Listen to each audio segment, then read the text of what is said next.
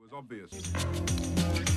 Good evening. Welcome to this special edition of Summertime. Tonight we have an extended program devoted to the ALP Well, who's going to leadership win? What's the feeling?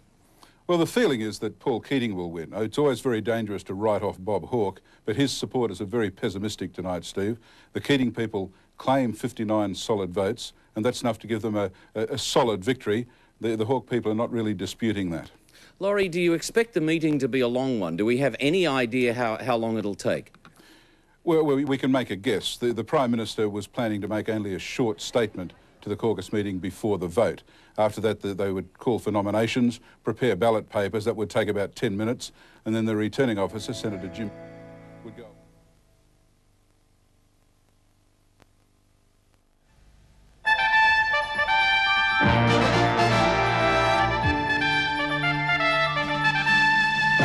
Question of who will be leading uh, this party and who will be Prime Minister of Australia will be decided by my party in a ballot at 6.30 this afternoon. Time will tell. What chance do you give yourself? What odds? Time will tell.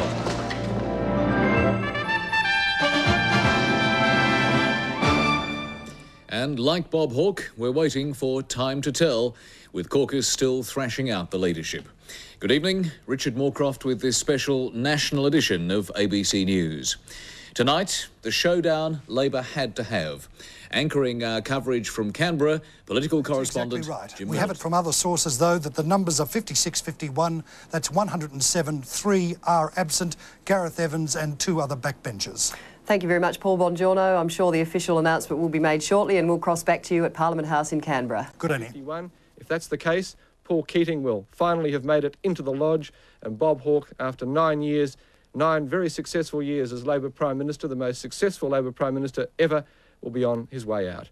But for now, that's again, all. and we cross Parliament. live to Paul Bongiorno at Parliament House, Canberra. Paul, there's some action, we understand. There is now Senator Jim McKiernan, the caucus returning officer, is coming down to make the uh, official announcement.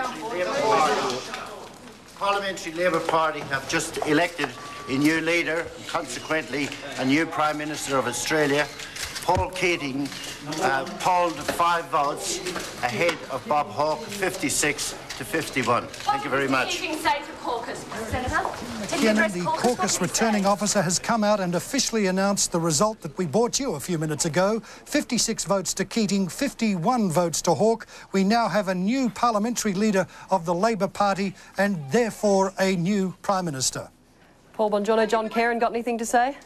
No. John Kerin, a disappointed man. He stuck with Hawke right through. He walked through. George Gear is a uh, Keating supporter. Always saddened by it. Always saddened by the process.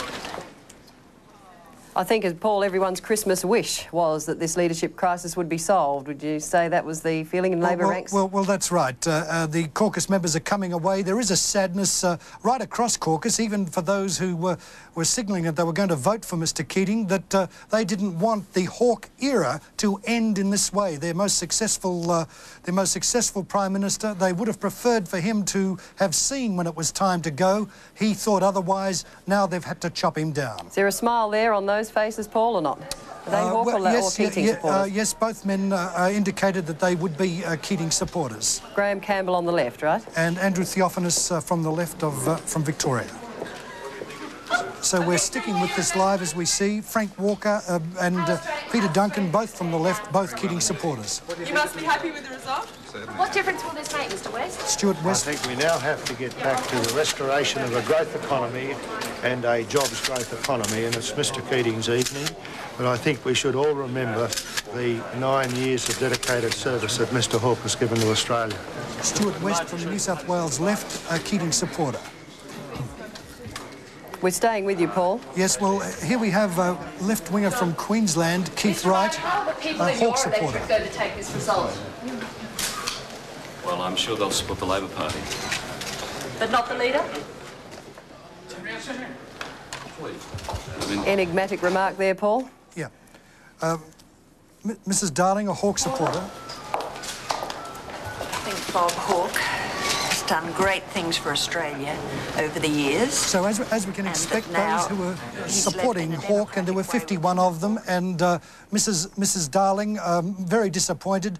But, uh, but saying that the democratic process has worked. It's now up for the Labor Party, of course, to get behind the new leader, Paul Keating. And there we see him, Annie. Paul Keating is emerging from the caucus room, the new leader of the party and Australia's new Prime Minister. I think we should stick with him and see if he comes down to the camera. We are expecting a news conference from him, of course, later in the evening.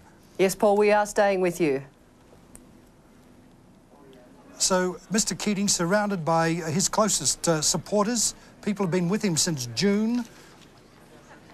Ros Kelly, Environment Minister on the left, Rosemary Crowley from the centre left on the Crowley on the right. How do you feel? Well, it's a, uh, it's a great honour to be elected leader of the Labor Party. It's uh, it's a very it's a very it's a very humbling it's a very humbling experience, and uh, I feel the poignancy of the moment. What do you have to say to Mr Hawke now, Mr Keating, after eight years leadership? Thank you most sincerely. The poignancy of the moment, uh, that's what uh, Prime Minister Keating had to say, and he thanked Mr Hawke most sincerely. As I'm saying, we, we are expecting a, uh, a full news conference a little later in the evening. We'll just see if there's uh, Bob Hawke emerging. Mr Howe, Deputy Prime Minister, coming down the corridor. Will you stay on as deputy, Mr Howe? Okay. All right, well, there we uh, have to leave our live coverage. Uh, we'll keep uh, with developments uh, as they develop uh, through the night. And, of course, we'll have a full wrap-up in our late news at around 10.30. Thank you very much, Paul Bongiorno in Canberra, live from Parliament House. Australia has a new Prime Minister, Paul Keating, beating Bob Hawke in a ballot. 56 to 51 votes. We'll have a full summary of this in 10's second edition news tonight at 10.30. If there is a Keating press conference earlier and we have a chance to cross to it, I'm certain we will. Join us then for the news.